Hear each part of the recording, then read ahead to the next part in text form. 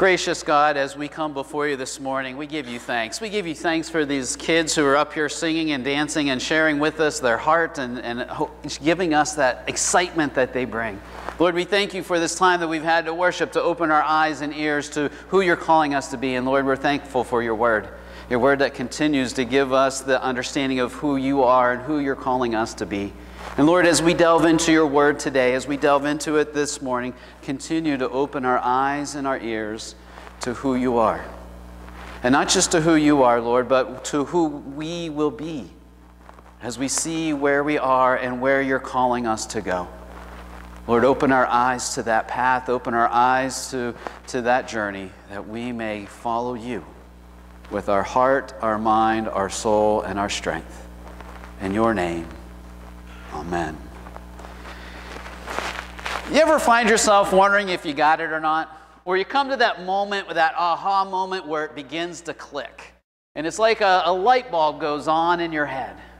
And, and, so maybe for you that click came when you were learning to tie your shoe. I don't know if you watch young ones tie their shoe, it's like it's all trouble, trouble, and all of a sudden it clicks. And, and the light bulb comes on and they get it. Sometimes, maybe for some of us, it was with, with math. You know, we're in that problem and we're trying to figure out math 2 plus 2 equals 4. As I was looking for a, a, a slide that had 2 plus 2 equals 5, and I said, I can't do that, people will be confused. Uh, but it, it, it, clicks. Sometimes that math just clicks. Or, or maybe it's one you're reading, or you've been reading or learning to read, or you've been reading for a long time, and all of a sudden it begins to click for you. That light bulb clicks on. For me in my journey, there, there's a book that, that was one that was instrumental in my uh, growing up years. And, and, and it, for me, it's what clicked for my faith. It's Pilgrim's Progress by John Bunyan. And, and, and, as I was reading this, I don't know, I was probably 9, 10, 11, probably a little too young to read it and understand it, but it made sense to me. As this, this young man, this young uh, person by the name of Christian was leaving the city and on this, on this highway to, to God and, and just walking down, carrying this big, heavy burden with him. And, and I resonated with that story. I resonated with, with that, that character, Christian, in carrying that sack. And it clicked for me. Uh, so this morning we're going to look at uh, Ephesians. We're going to look at another person who had this clicking, who had it going on. And in your worship folder and on the screen behind me will be this morning's scripture. It's Ephesians chapter 2, verses 1 through 10. Would you join me in reading the scripture for today?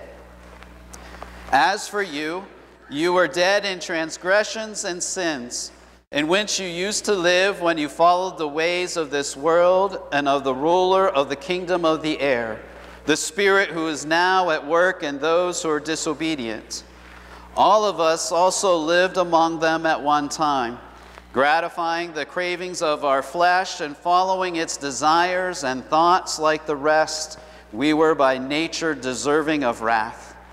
But because of his great love for us, God, who is rich in mercy, made us alive with Christ even when we were dead in transgressions. It is by grace you have been saved.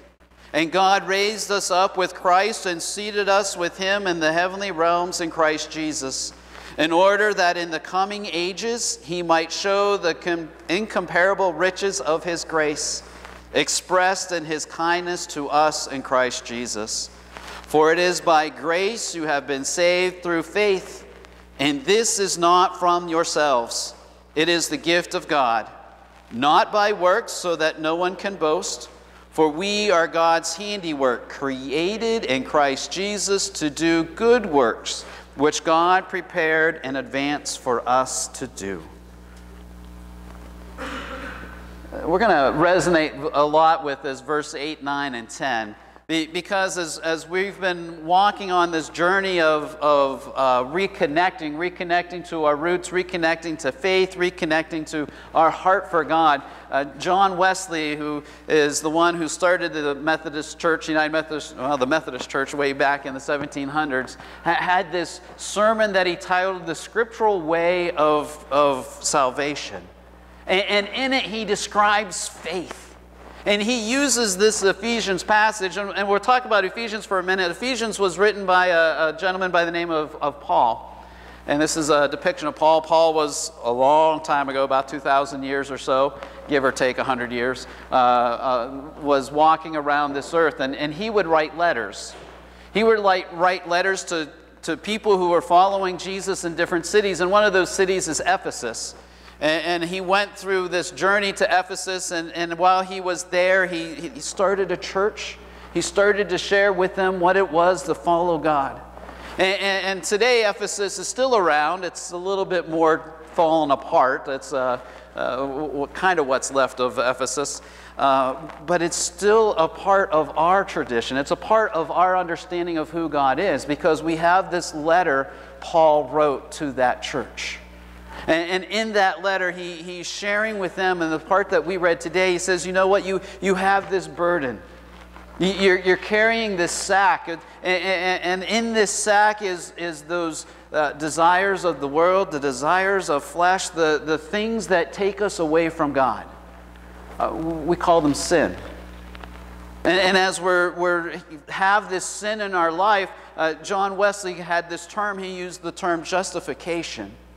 Justification is that, that idea that we are pardoned, that we are forgiven that, that we don't have to face the punishment. Paul said it earlier in, in that second uh, Ephesians chapter 2, earlier in the 1 through 10. He talked about how that deserving of wrath, that punishment that was there, and that punishment that, that continues to, to be there. But God says, you know what? That's not for you. Because of my love for you, my grace for you, my, my belief in you, there is something different for you. You're not going to face that punishment because I'm going to take that for you. And that's what grace is. That mercy, that, that mercy that says that we do not, we, we have a gift that's given to us, something we do not deserve. God showed us mercy by not having us to, to, to face that wrath. Because we've been forgiven. We've been justified. And, in that justified, that, that forgiveness, that, that grace, that God's love that's been given to us, that, that, that we have not earned, it's freely there for us. John Wesley would continue to say that as that justification becomes real in our life and in our heart, as we understand that pardon and that forgiveness, we, we move on to another grace. We move on to a, a sanctifying grace, a grace that says that we are holy. A grace that says that you are to be different, that you're going to live into this life and into this pardon, this into this forgiveness, and you're going to continue to grow in it because that forgiveness is not the end of it. There's this voluntary growth. As Paul put it in his letter, he said, It was by grace you are saved by faith. And then we got to understand what faith is. And this is, comes uh, from Hebrews. It's a, another uh, a letter that was written, um, some think by Paul to, to, to the Hebrew church. And it says, Now faith is the assurance of things hoped for and the conviction of things not seen. Just let that resonate for, with you for a moment. Faith is the assurance of things hoped for and the conviction of things not seen. Faith is that assurance of things hoped for. What do you hope for? What is it that you've set your hopes on? Is it a life that, that is spiraling downward? Is that what we hope for? Is it a life that, that uh, uh, has, has things in it that, that take away love and, and insert hate? Is that what we're hoping for? I, I don't know too many kids that, as, as, we watched the little ones up here filled with that passion and energy, I, I didn't see too many of them saying, you know what, I hope that I can grow up and just to be a bump on the log. Oh, they have a hope that life's going to be different, that life's going to be exciting, that life's going to be fresh, just as it was, as, just as it is now for them. That same hope that we have that life is going to be fresh, that life's going to be exciting, that, that there's something greater than me. That's what we hope for, isn't it? And if we take a minute and think about it, if we're hoping for that and hoping for that, and that assurance, that faith is that assurance that what we hope for will be there and the conviction of things not seen. The conviction that life is different, conviction that God is love, that conviction that God has forgiven me, that conviction that opens up that doorway to step through and, and, and know that God is by my side, that Jesus died for me. And, and, that in my understanding and my life and this faith that I have, that I will live a life convicted. That Jesus is real and Jesus is here and Jesus is that example for me to be. John Wesley, like I mentioned before, is the, the, starter of the Methodist Church. And, and, and, as we talked a little bit before, just he had this uh, uh, moment in Aldersgate uh, this moment, because John Wesley, I've shared this story before, but I think it's worth repeating, especially as we're looking at this justification, sanctification, this Ephesians 2, that we are saved by grace through faith. That, that John Wesley understood the Bible.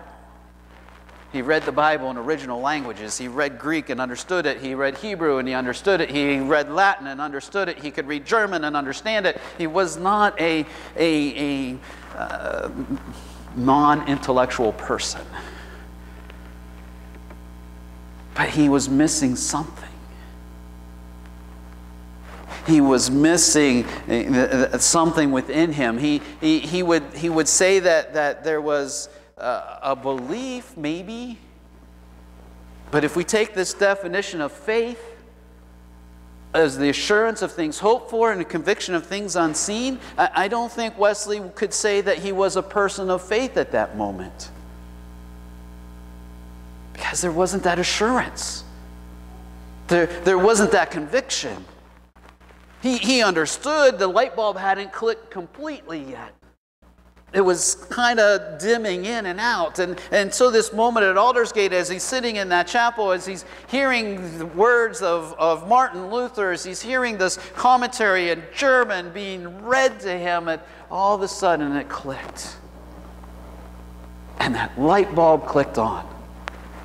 And there was this thing that he had hoped for, this assurance of hope for, the assurance that he was saved, this assurance that he was forgiven, this assurance that set him on fire. Because now he had not only this assurance, but he was convicted. He understood that things uh, that he did not see were real. He understood that, that he was saved. He understood that there was a life worth living. He understood that God's love for him was great and was strong, and that was just it was not just for him. It was for all those that he was talking with, speaking with, understanding. And, and this faith, this conviction, this understanding of God was so great in him that as he would go out into the world, as he would go out into England and, and into the surrounding countryside, and he would begin to speak Thousands would gather around him. Think about that for a moment. You're hearing me through a microphone because uh, my voice isn't very loud, or if I did get louder and you would be able to hear me, I wouldn't be able to talk afterwards.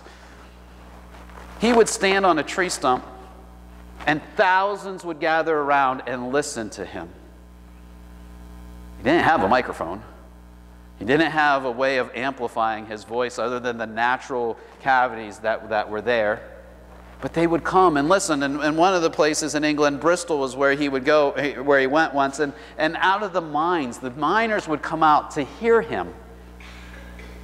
And maybe at first they started to jeer and because they've heard all these things before, but his conviction and his assurance and his faith started to come out and it started to be seen, started to be recognized, and it started to be built back up.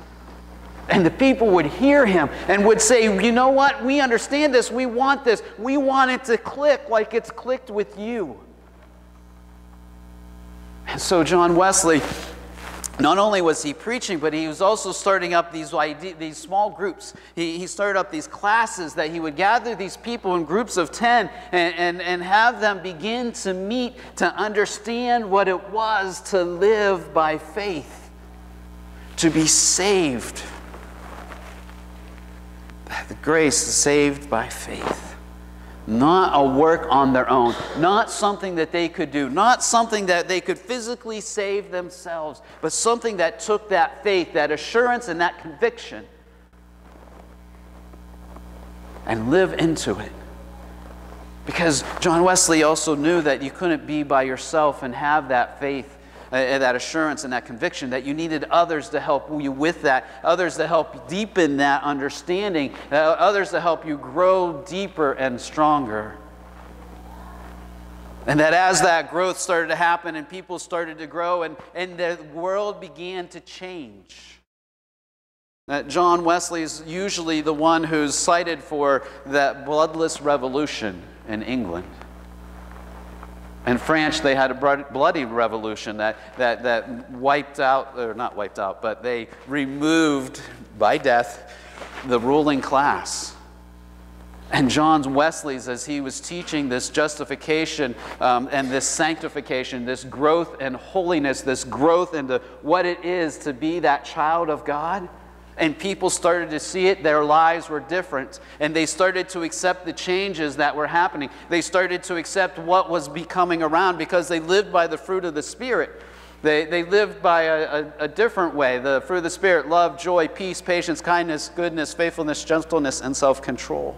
They no longer lived by that, that desire of, of, of love, lust, and, and heartache, and hatred, and discord, and envy.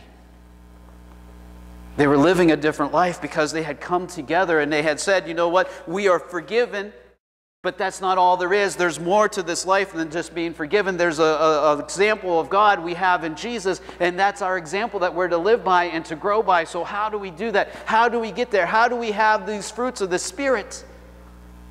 And it comes through that sanctifying power of God, that, that love of God, that grace of God, that voluntarily we walk into God's presence. I say, God, I want to be more like you. I, want, I see my brother Jesus and I want to be like him.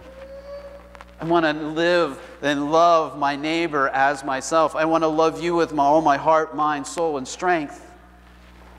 I want to follow after you if you look at Jesus' life and you see him as he traveled, uh, you know he only traveled for three years, right? He had 30 years of working and 30 years of being in, in society and culture, 30 years of earning a living, 30 years of, of, of helping his family, 30 years of being with his family, his mother and his brothers. 30 years of living life. And even in those three years, as he traveled around to different places and different spots, he continued to live. He continued to uh, earn money. He continued to um, help uh, the disciples live and grow and taught them what it is to follow after God. Shared with them parables and shared with them ideas and, and shared with them what God's kingdom is like. He was still in earth, on earth, and he's still living a life. Because as we grow in that understanding of God and we grow into these fruit of the Spirit, we begin that transformation that happens in our heart and our life. It doesn't mean that we stop living.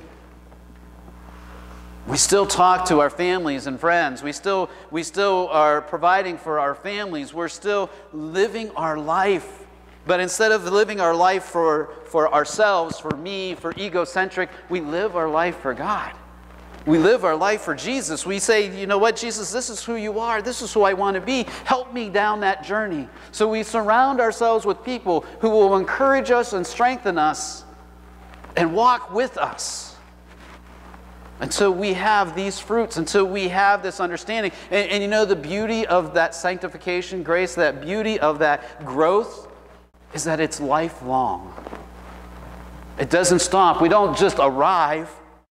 Because as we get it, as that light bulb clicks on, we have this understanding that we are saved by grace through faith. We have that understanding today. And then tomorrow, that understanding gets a little bit deeper. It just isn't, uh, I've been saved. It just isn't accepting and forgiving. It's more. It's looking at my neighbor and seeing who my neighbor is and not just judging my neighbor and, and casting my neighbor aside. It's about loving my neighbor as, as Jesus loves them. As Jesus loves them. It's, it's more about what is happening within. Because what happens within then becomes what happens without on the outside and it begins to change our life. So, this, this idea that Wesley gives us, this idea that Paul is sharing with us, this idea that we live into today, this purpose that we have, just isn't that life is all about me. That life goes beyond. That love that God has placed within me, God continues to call me over and over and over and over and over again. God doesn't let me be.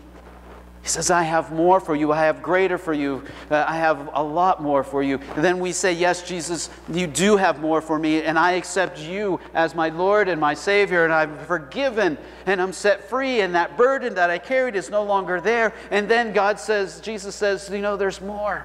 Come walk with me. Let me show you what else is there. If you really want an understanding of this, read Matthew, Mark, Luke, and John. Read the four Gospels, the four accounts of Jesus' life, and as you read through them, look, watch the disciples. Watch Andrew and Peter and James and John, and, and, and so I got four, so there's eight more. Watch them as when they first follow Jesus until Jesus dies. Watch how they grow. And watch as Jesus is resurrected and Jesus comes back from, the, from, the, from the grave and he says that this is what I've been telling you about. And watch them change even more as that life that they see grows deeper. And that faith, that assurance of things hoped for, and the conviction of things unseen becomes real within them. That's that's the life Jesus is calling for us as well. That's the life Jesus says, Here it is. Follow me. See what I have. See this love I want to share with you and with the world. Be my disciple. Be my student. And show the world by your prayers, your presence, your gifts, your witness, and your service that I am more and that I have more. Are you living into this life? Are you getting it? Is it clicking? If it is, share it with somebody. Help them to see and understand. And if it isn't, find someone else that is clicking with. Find someone else who has that light bulb that's going off and begin to ask them and, and begin to surround yourselves with them so that when that light bulb clicks, others will know and others will see because you'll have that love, joy, peace, patience, kindness, goodness, gentleness, and self control in your life now and forever. Amen.